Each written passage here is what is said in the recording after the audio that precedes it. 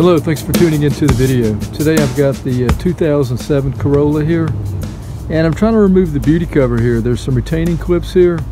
I've never seen any like these before. All retaining clips are pretty hard for me to remove without breaking them. So I'm going to try to remove these uh, without doing that this time. I'll show you how I did it.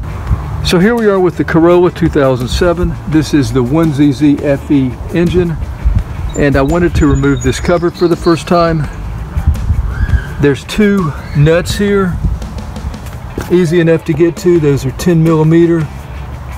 Uh, I may need a deep socket to get to those. But back here, where the difficulty part is at, is there's these retaining clips here. All right, so here's the one I have not got out yet. I'll show you how I got the other side out. But the uh, clip here is locked in, so you can't really turn it anywhere. Now there may be a special tool that you can get for this, but this is the clip itself and then you can see where it's locked in by the cover right there and also on the back side right here. So what I did was I took some needle nose pliers may be able to just push it all the way up, but what I did was I pushed it up beyond those, or beyond where it's locked in at.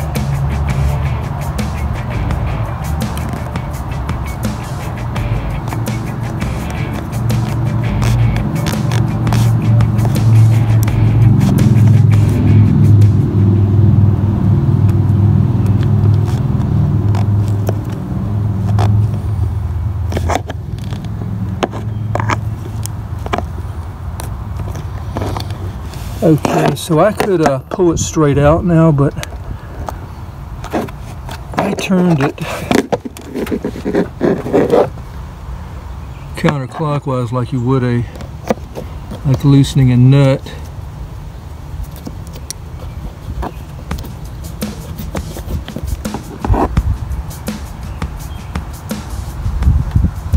But you would probably pull it straight out. Regardless, it's only going to be good for one or two times.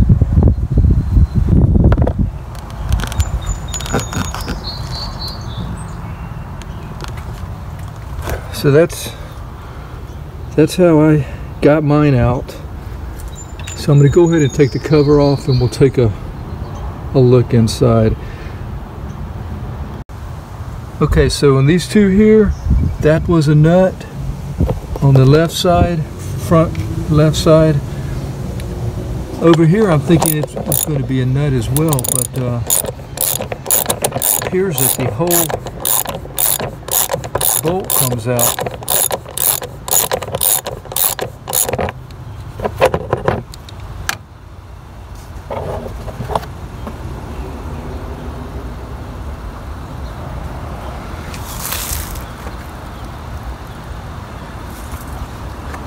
Yeah, so got the whole bolt on that side and the other side just a nut. So I've got the stud left in place here. And then we've got the hole there. So, and here's the uh, back clip pieces. And they're actually, you can actually buy screws, probably the same size screw that will thread into uh, the cover here, valve cover. And that may be the easiest way. Let's just go with four screws. Anyway, that's it. That's how to uh, remove this beauty cover, at least on the 2007. Uh, hope it's been helpful. Thank you for watching. Until next time, take care.